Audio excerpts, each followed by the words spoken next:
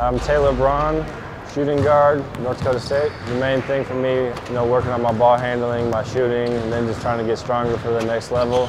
I like to think of myself as a kind of a versatile player. In college, you know, I was a scorer, um, but I also look to pass, rebound, get out. I love to run in transition.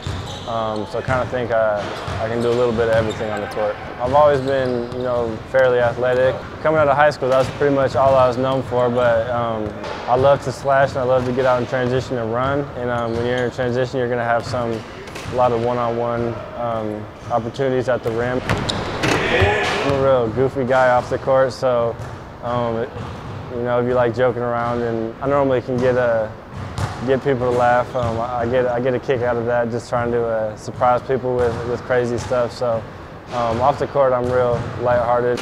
Going to the next level, you know, I had to develop a, a jump shot to to contribute more. But throughout my time there, I really worked on uh, my, my ball handling and my shooting. Um, that improved a great deal over over the five years that I was there. But I'm aware that I still need to continue to get better at that, so I'm, I'm definitely still working on that. I'm confident in my in my jump shot. Um, repetition, I'm getting as many shots as I can in a day. You know, just trying to keep my jump shot consistent.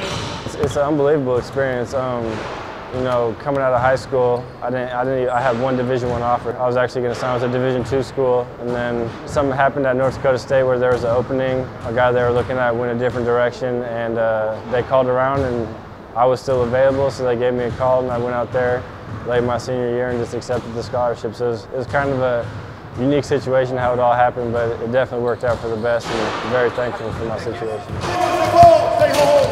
Really makes you appreciate the stuff that you do get just because you have to work that much harder. And as far as a basketball player, um, it definitely puts a chip on your shoulder. So every time you go on the court, you want to prove that you, are deserving, you know, feel like you can hold your own at that level. And so to be in the opportunity where I'm training with, um, you know, some of the best college basketball players in the country and um, pursuing a professional career is everything I dreamed of and it's just an honor to be in this position.